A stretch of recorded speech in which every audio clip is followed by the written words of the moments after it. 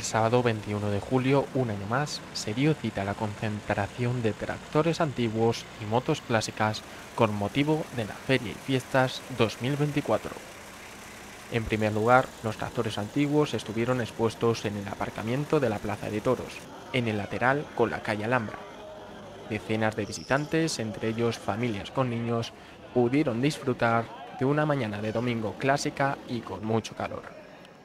Poco después, los tractores se desplazaron a la Plaza Mayor para exponerse en uno de los puntos claves de la localidad. Pues los más clásicos está el LAN, los dos dedos que están aquí delante, que esos, hay uno que es del 62, otro del 63 y el LAN es del 58. Pasadas las doce y media llegaban las motos clásicas, casi 80 motos estuvieron estacionadas en el interior de la Plaza Mayor.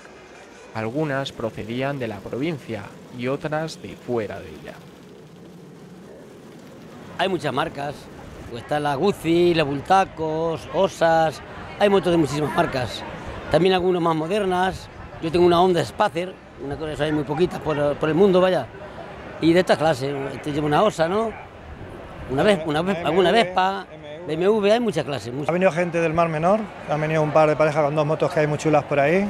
Ha venido de Oliva también otras personas. Han venido de Albacete, Villarrobledo, eh, Socuéllamos, de Miguel Turra, Ciudad Real, las Brujas de Daimiel. Y no sé si me deje por ahí alguno más. De Madrid hay alguno, de, de San Carlos ha venido otro, Valdepeñas también a Sama que me lo dejaba, a Moe de Manzanares. Entonces hay un poco lo mayoritario de la provincia, pero luego siempre alguna gente viene también de la zona Alicante y eso.